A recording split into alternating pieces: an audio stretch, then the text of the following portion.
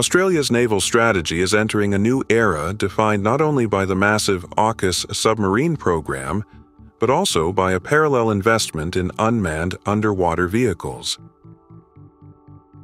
The Ghost Shark program, developed in partnership with Anduril, has become Canberra's answer to the strategic gap left by the aging Collins class and the long wait for nuclear-powered submarines. While much attention has been paid to Ghost Shark's potential within Australia, the reality is that the country is entering a global race.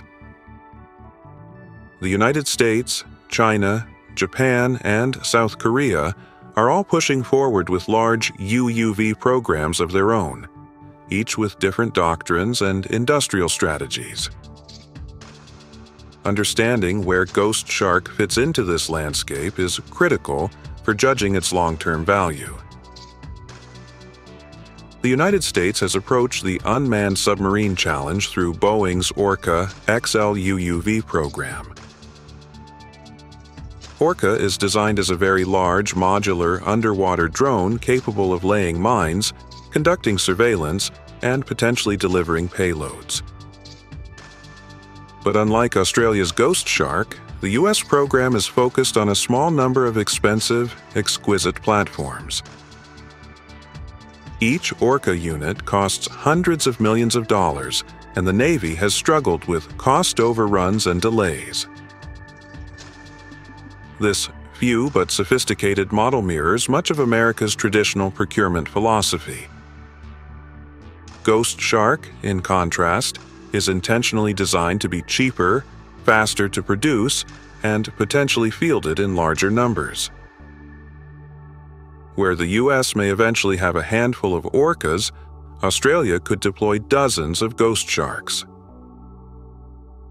That represents a clear divergence in strategy the United States aims for quality dominance, while Australia is betting on mass and flexibility. China has been no less ambitious in this domain. Its HSU 001 was publicly revealed in 2019, with dimensions suggesting a vehicle capable of long-range ISR and potentially more. Reports in Chinese media and Western defense analyses hint at a larger class of UUVs, sometimes called the Hailong, with theoretical strike or torpedo launch capability. Unlike Australia, which is leaning on Western industry, China is integrating its unmanned submarines into a broader ecosystem of state-directed production and maritime militia tactics.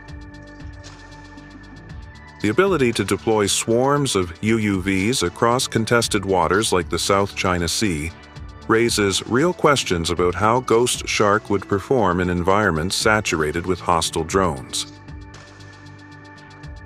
The technological sophistication of Chinese autonomy and sonar avoidance systems remains uncertain, but the pace of development indicates Beijing is investing heavily in undersea asymmetry Japan's approach is narrower, but still significant. Through the OZZ-5 program, Tokyo has developed UUVs optimized for mine countermeasures and surveillance.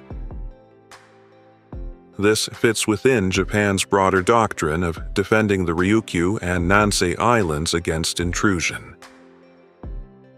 Unlike Ghost Shark, which is marketed as a multi-role system, the OZZ-5 is task-specific and intended to support defensive operations close to home.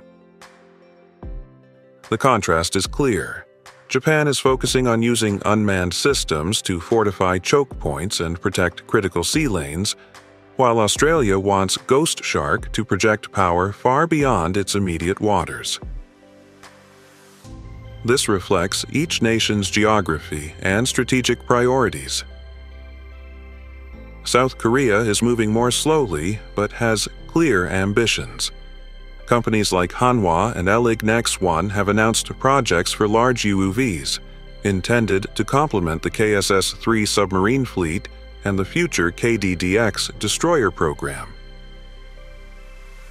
At this stage, South Korea is still in testing and conceptual development, several years behind Australia in terms of operational deployment. However, Korea's industrial base is strong and export-oriented, meaning its UUVs may eventually rival Ghost Shark in sophistication and price competitiveness. For now, Australia's advantage lies in being earlier to market, with operational prototypes scheduled for delivery by 2026. The central concept that differentiates Ghost Shark is the idea of swarm warfare. A single nuclear submarine costs upwards of 10 to 12 billion Australian dollars, requires years of construction, and demands highly trained crews. In contrast, one ghost shark is estimated in the range of 50 to 100 million Australian dollars. In theory, Australia could field 20 or 30 ghost sharks for the cost of one nuclear boat. This raises the question of whether massed autonomous platforms could substitute for traditional undersea deterrence.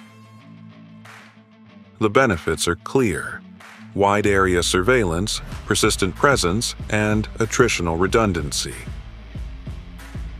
Yet the risks are equally obvious.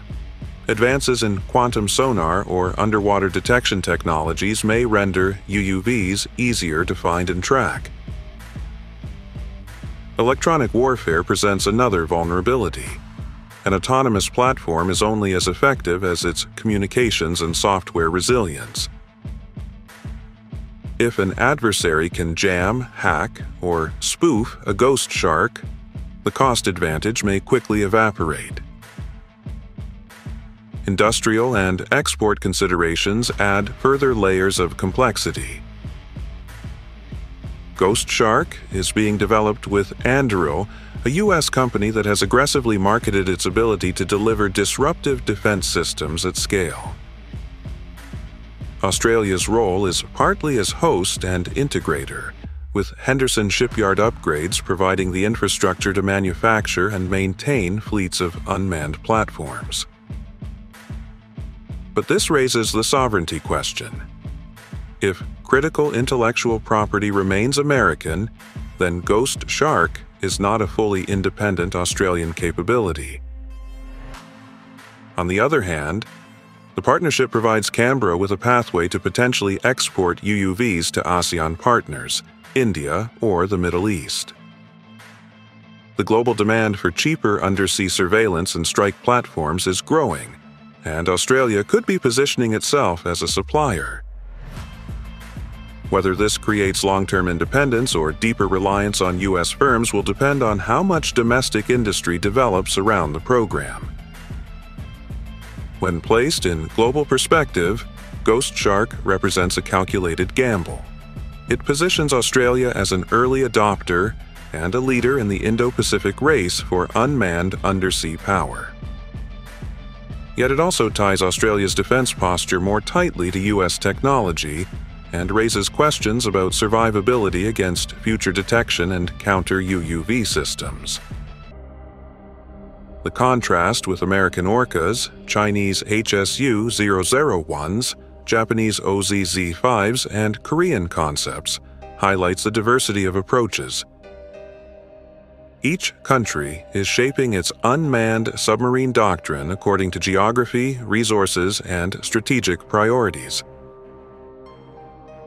Australia's bet is that quantity, agility, and rapid fielding can offset the long lag of AUKUS submarines and provide credible deterrence in the near term.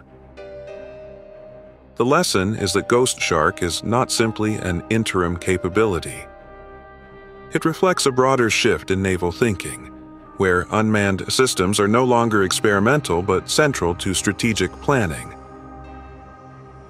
whether Australia can maintain the technological edge, scale production, and integrate these platforms into a resilient doctrine will determine if Ghost Shark is remembered as a stopgap or as the foundation of a transformed Navy.